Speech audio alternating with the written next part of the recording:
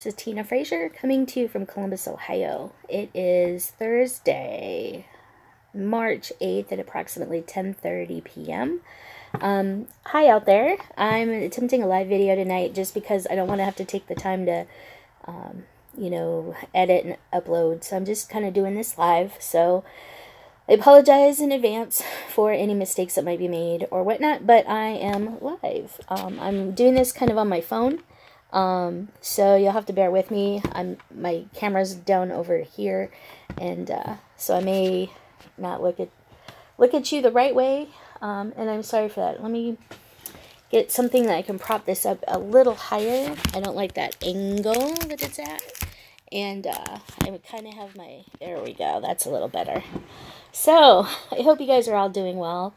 Um, I am doing okay. The last two weeks, week and a half or so, have been really kind of difficult for me. I hope you can hear this okay. Um, we've had some family health crises come up, and um, I found out last Wednesday that my job, as I know it, is going away. And um, so I'm going to be forced to do some different things now. And uh, luckily, I have 20 years of service in with the company as of February, so that's pretty nice. I'm sorry about the um, the phone vibrating and making noise. Um, I am doing this on my phone, which is why it looks a little different. Um, I have my lamp above me, um, so I'm sorry if it shakes a little bit more than normal. But uh, anyway, um, I hope that you guys are all doing well um, because I have had kind of a rough week and a half um, with the family health health crises and everything going on right now, and the fact that I still have the potential of completely losing my job. Um, it just it hasn't been a very good start to March. But anyway, um, I'm doing okay, and I've got some stash to show you guys, which is why I'm here. Um, hi to whoever uh, is watching and likes me. Hi out there. Um, I don't know who it is. I can't see anything streaming across the screen. Um, I am on my phone, so you have to bear with me. Um, but anyway, I am I am here, um, and I have some new stuff to show you guys that I got. So I don't know if you remember from my first video that I had this Lori Birmingham design that I have been working on that has been a work in progress for over 10 years. And at some point in time, I lost the um, pattern for it. And I think I mentioned this in my last Flosstube video. But I had found um, a lady on Stash Unload, the cross stitch Facebook group, that had the table runner pattern. Now I had the um, had the bell pull kit. Um, I had the bell pull kit, and uh, the lady had the table runner pattern for sale. So I actually ended up buying the table runner pattern from her for my table for my bell pull kit. If you remember, this is what it looks like. You can get the glare off. Um, this is Joy to the World by Lori Birmingham. Joy to the World. Um, this was the Lori Birmingham Bell Pull Kit. Um, the lady online had the Joy to the World Table Runner kit or pattern for sale, just the pattern, and it was a really good price. So I about fell out of my seat when I saw this online. This is this is the pattern. Um, yeah, Betty, losing a job really does stink. Thanks a lot. Um, I haven't necessarily lost the job. It's um, definitely I'll be doing something much different than I have been for four years, but there's still a chance that it may go away. Um, they're still kind of up in the air on whether or not they can place the 20 of us that are in my department in new jobs or not because there aren't jobs out there for us right now. Um, so, yeah, it really does stink. But um, we'll work through it and we'll figure it out if the time does come. That just may mean I take a few months off and then look for something new, um, you know, when my severance kicks in. So we'll we'll see. Um, it's going to be tough, but um, so anyway, here's the um, the table runner pattern that I got. And um, the night that I got it, I was really happy. My husband finally brought it home from work. I actually got started stitching on it. Now I took some pictures before of my progress, so I will post those probably either at the end of the video or right here. Uh, well, it's probably going to be at the end of the video or at a later time. But anyway, here's the progress on um, the joy to the world.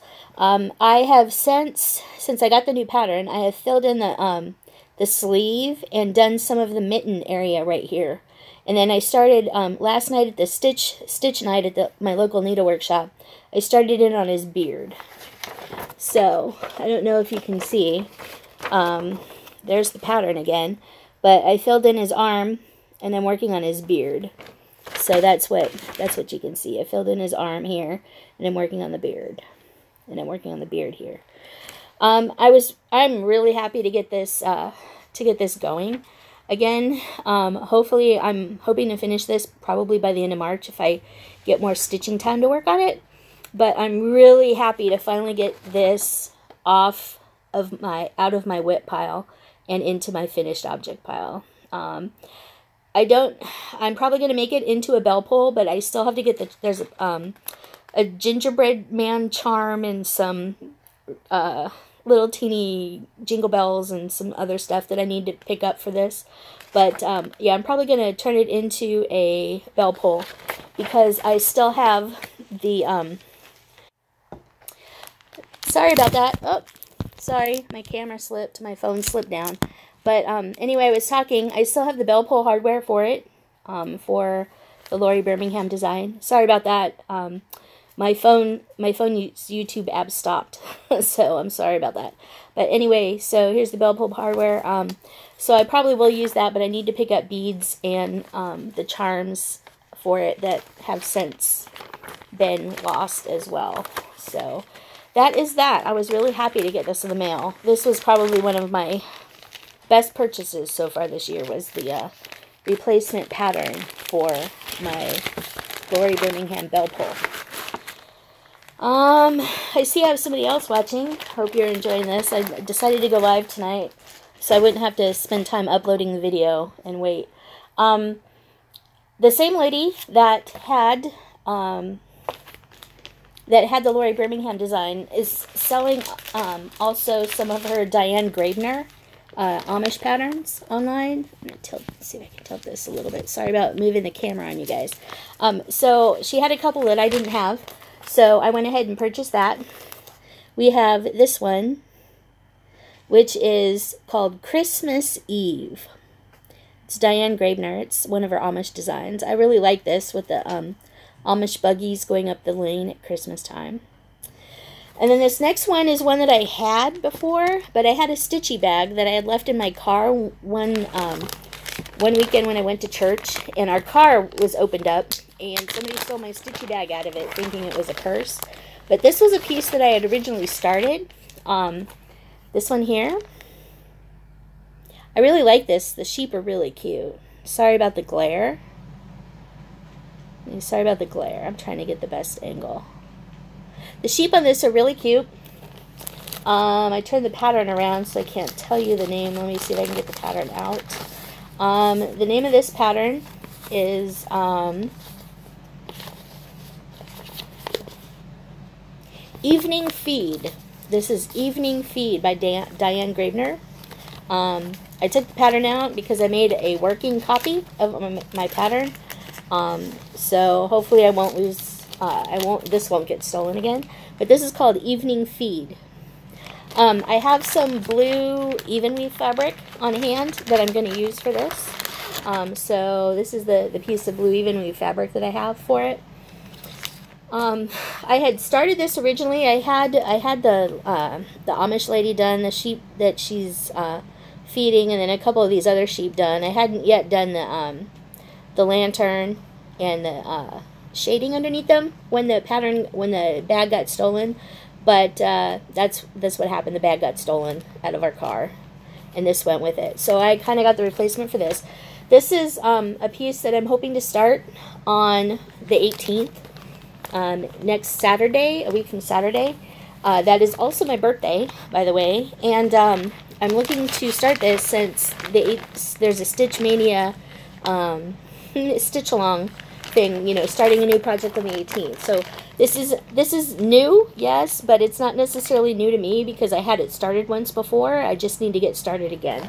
So, um, it's gonna. This is gonna be a new start for me on the 18th. Diane's Diane Graebner's evening feed. Um, then, so because I was dealing with the um, the news of the health issues, the family health issues that are going on right now, um, with my mother-in-law in particular, um, and also the possibility of my job coming to an end. Um, there was another lady on Stash Unload on Facebook. Um, oh, thank you, Teresa. It is a really cute pattern. Um, I like I like Diane Graebner's Amish patterns a lot. Um, there was a lady on the Stash Unload group on Facebook who was also selling some grime guards pretty inexpensive inexpensively, and I happened to get two of hers. Um, I already put. Well, let me just take it off of here. Um, I got an 11 by 17 one because the one that I had on my Q Snap that has my linen and threads mystery stitch along on it um, is really stretched and it was really tight. Um, so I ended up getting an 11 by 17 one that she had. I don't know if I can get this stretched out enough. But this one is gingerbreads. I really like this pattern. And actually there's a lot of shimmer. I don't know if you can see the shimmeriness of the, the fabric. Maybe you can. But this one has gingerbreads all over it. I thought this was cute. Um, so I ordered this one. And the first one that caught my eye, though, was this 11 by 11 one that she had for 11 by 11 Q snaps. And it's this butterfly, really spring, really pretty spring butterfly fabric. I fell in love with this. And um, so I ordered me two grime guards, which is something that I actually kind of needed because I didn't have, I only had like two grime guards. I only had two grime guards and I have like four or five pieces going right now. Um, get a little bit of tea. I'm drinking um, Harney and Sons holiday tea. I think I picked up this tea at um, Barnes & Noble. Um, I'm drinking tea because I don't want to drink soda or anything tonight. Um, so I got the two patterns, um, or the three patterns actually, the two Diane Graebner and the um, Lori Birmingham, and then the two grime guards. Um, when I was at my local needlework shop last night, um, I picked up another 11, 11 by 11 Q snap because I have another. Um, I got the new Q snap. I put it together already.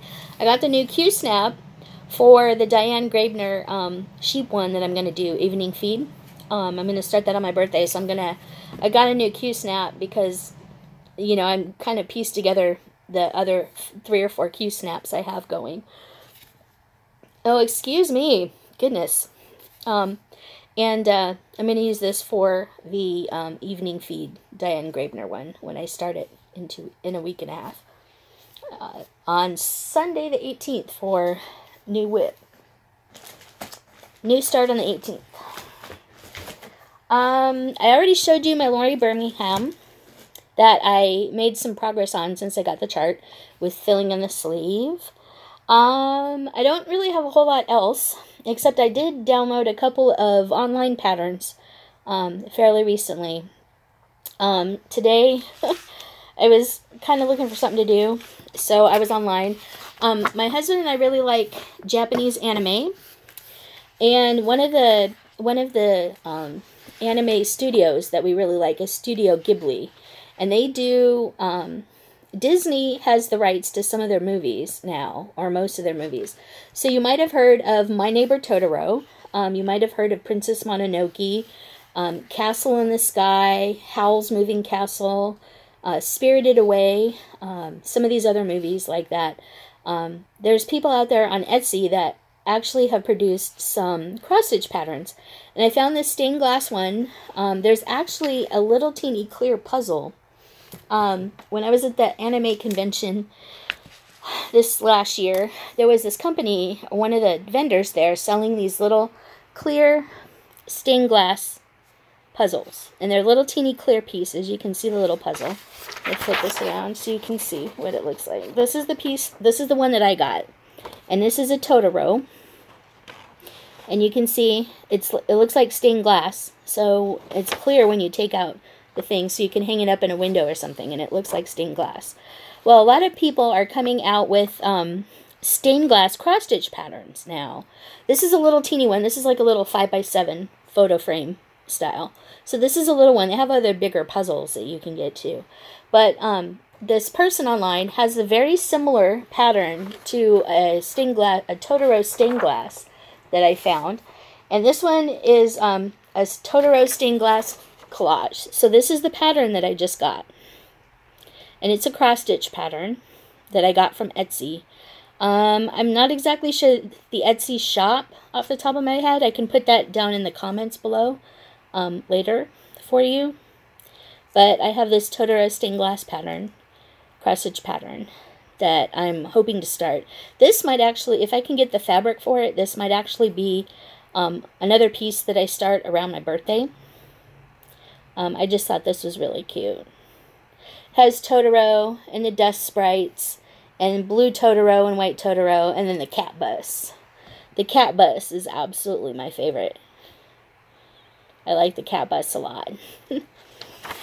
So I got that one, and then um, a different seller also had another Totoro pattern. I'm not going to be, able, I'm not sure I'm going to be able to show you um, the picture of it because the, the color picture didn't print. And, uh, oh, it's over here. And uh, I don't know that I can show you the pattern, but it's basically like a Totoro silhouette with the little Totoro in the, the middle at the bottom and then another little dust sprite type thing in the middle. And the Totoro is this uh, has a turquoise background with red or pink roses all through it. It's really really pretty. sorry for my camera readjusting. I'm kind of kind of doing this on my phone. Um, but anyway, the uh, it's called Totoro Floral, and um, it's actually really kind of nice. Um, I can probably show you. This is kind of the pattern of it way back here. I don't know if you'll be able to get that. But, uh, yeah, that's kind of what it looks like. Maybe turn it turn it this way a little bit so you can kind of get an idea. Um, yeah, that's kind of what the pattern looks like. Um, it's really cool. I like Totoro, um, so one of those might be my new start um, if I can get the fabric for it. Um, I don't know if I showed this last time on my one of my last two videos, but I picked up this Noel Mill Hill buttons and bead kit. Um, I'm kind of sort of doing the Mill Hill Monday stitch alongs. Um, and this is going to be another kit that I'm going to add. Hopefully I'll be able to finish the one of the Santas that I have in bead in the beading process right now. And um, once those come get close to being done, I might actually start on this. This comes with green perforated paper. It looks like it's going to be really pretty. So I'm looking forward to that. And other than that, I don't really have much much more of an update. Um, I'm still working on Stitch Rovia Let It Snow. Um, sorry about that. The um, Stonehearth Hutch um, pattern from the Just Cross Stitch magazine. I'm still working on that. I haven't really worked on my diamond paintings. I haven't really done a whole heck of a lot. Um, just because I've been a little depressed with the news from my in-laws and, um, you know, my job situation. So hopefully the job situation will iron itself out and I'll know a little bit more in a week or two. Um, there's a little bit of me that kind of hopes I get severance but there's a big part of me that really hopes that I, you know, stay working. Um, I could use the time off to take a little bit of a mental break and get some stuff done. But under this same, same note, I, I really don't want to go look for another job. I've been with the company 20 years, so yeah. It, it'll be hard losing like four weeks of vacation and, you know, just the length of service and everything like that. But anyway, that's about it, you guys. I really don't have a whole lot else to talk about, really. Um, Survivor started last week. I didn't get a chance to watch last night's episode because I was at my local cross stitch stitch night. Local needle workshop stitch night, sorry. Um, other than that, things are going good. We're playing board games. We're just kind of hanging out and having fun. Um, I'm just trying to keep my mind not really on being depressed about work or the lack thereof, and um, just trying to keep focused. Um, yeah. Oh, my, you know, many of you know that I retired from roller derby also in January. I've been with the league 15 years. And um, so I haven't had to go to Wednesday scrimmage nights, which has been really nice because, you know, I have more time now. Um, oh, thank you, Betty. I hope stitching will help me with the depression too. Um, I really, really, really kind of need to just, you know, get out of this little funk and, uh, you know, just enjoy myself. And I've been, I've been trying really hard, but sometimes, you know, even stitching, the motivation to stitch just isn't there. Um, you know, because all I just kind of want to do is just like stare at a blank wall and just be like, oh, it's not good either, because it just makes you more depressed because you don't get anything done. So yeah, it it it can kind of be really really depressing and um, so yeah, we just we just found out um, my mother in law has terminal cancer, and with her age and her doctors and you know some of the family have decided she's not seeking treatment so um, we're dealing with the fact that uh, chances are very likely she's not going to make it to halloween so uh, there's just a lot of stuff going on with that and to find that out like a day or two before i found out about my job i mean it just seemed like you know somebody was kicking me when i was already down so it was it's just been kind of kind of a bad like start to March. But I hope it gets better. Um, I do turn 47 next weekend, so that'll be uh, that'll be there. That'll be good. Hopefully, hopefully it'll be good. So um, yeah. Anyway, so that's about it. I don't really have a whole lot going on, um, except that you know college softball is about getting started and I'm hopefully going to be going to a couple of uh, Ohio State softball games. I'm not a huge Ohio State fan, um, just because there's so many crazy fans here in Columbus. I don't really need to be one. But I do like watching softball. I like watching softball better than I like watching baseball. It goes faster, um, and probably because I played it for so long in junior high and high school, in grade school. But um, so college softball is gearing up and hopefully I'll be going to some games. I'll be definitely watching the Women's College World Series that comes towards the end of May and early June. Um, that's always a good time. I like watching that. Um, and I'll be watching Survivor um, probably on Thursday nights when they air it on CBS.com because I'm usually not home on Wednesday nights to watch it live. Um, but other than trying not to not to get into a depressing a depression and a really bad funk about everything going on right now. I'm just I'm just trying to plug along.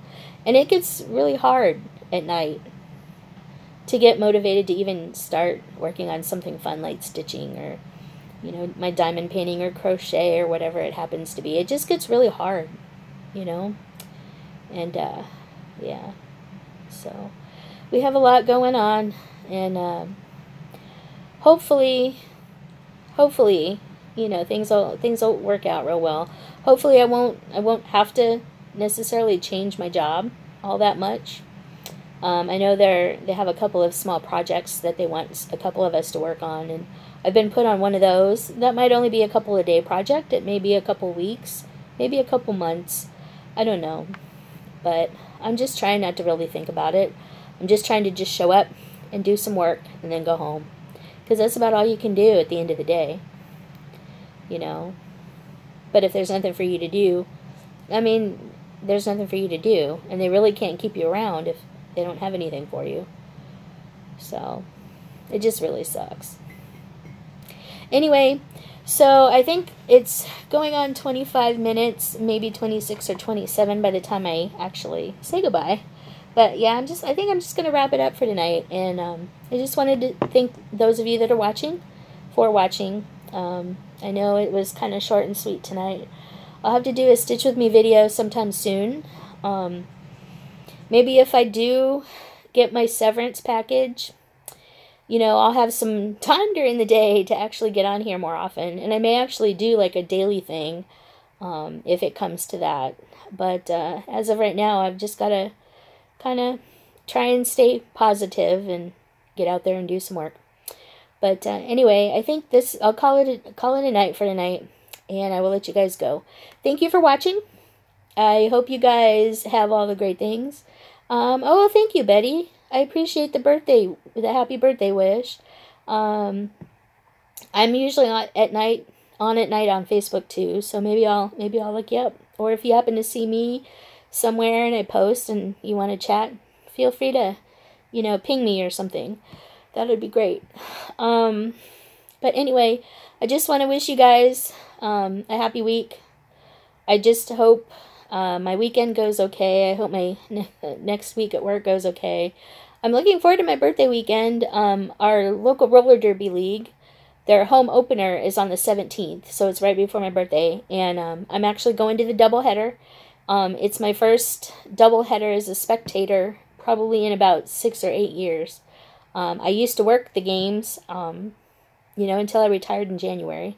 So uh, this will be fun to be able to sit and watch a game and have a beer and cheer on my league and see all my friends that I've been missing. Um, so it'll be fun. So that's sat- next Saturday, the 17th. Then my, of course, my birthday's on the 18th. So um, I don't know if I'll see, uh, if I'll do another video before my birthday. It might be after my birthday, so I can show you all the fun stuff that happened. Um, I don't know. But uh, anyway, happy stitching. Get all the stash, buy all the things, stitch all the things, and make all the pretties, and uh, keep your chin up because that's something I'm gonna have to do in the next next short while. So um, keep your chin up and keep smiling. I wish you guys the best. Have a good week, and I'll see you soon. Take care. Thanks, Teresa, for the birthday wish, and I'll hang in there as best I can. All right, take care, you guys. Good night. I have to figure out how to turn this off. there.